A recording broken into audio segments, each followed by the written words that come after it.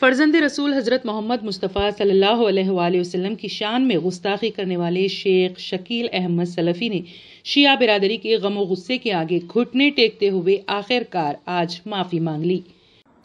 अगर मेरे किसी अल्फाज से शिया बरदरी को अगर तकलीफ़ पहुँची है तो मैं माजरत खा हूँ। उन्होंने फेसबुक पर एक वीडियो पोस्ट किया है, जिसमें उन्होंने कहा है कि अगर उनके किसी लफ्ज से शिया बिरादरी को ठेस पहुँची है तो वो माफ़ी चाहते हैं। वाजरे के शहर के मुख्तलिफ़ पुलिस स्टेशनों में शेख शकील अहमद सलफ़ी के खिलाफ शिकायतें दर्ज करवाई गई थी और दो रोज़ कबल शिया बिरादरी के उलमा व जाकिरीन से डीसीपी साउथ जोन ने वादा किया था कि वो शेख शकील अहमद सलफ़ी के खिलाफ सख्त कार्रवाई करेंगे।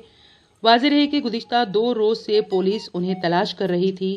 एक सिमत शिया बिरादरी की जानब से मुसलसल एहतजाज किया जा रहा था तो दूसरी जानब पुलिस ने उनके खिलाफ एफ़ आई आर दर्ज करते हुए उनकी तलाश में शिद्दत पैदा कर दी थी।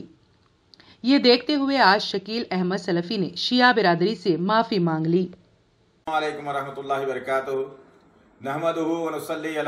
करीम।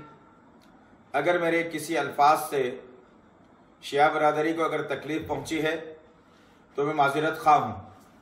अल्लाह हमारे शहर को अमन अमान में रखे और अल्लाह ताला जो है ना शहर की तरक्की में हमारा हिस्सा रखे। वालकम वरहमल वर्का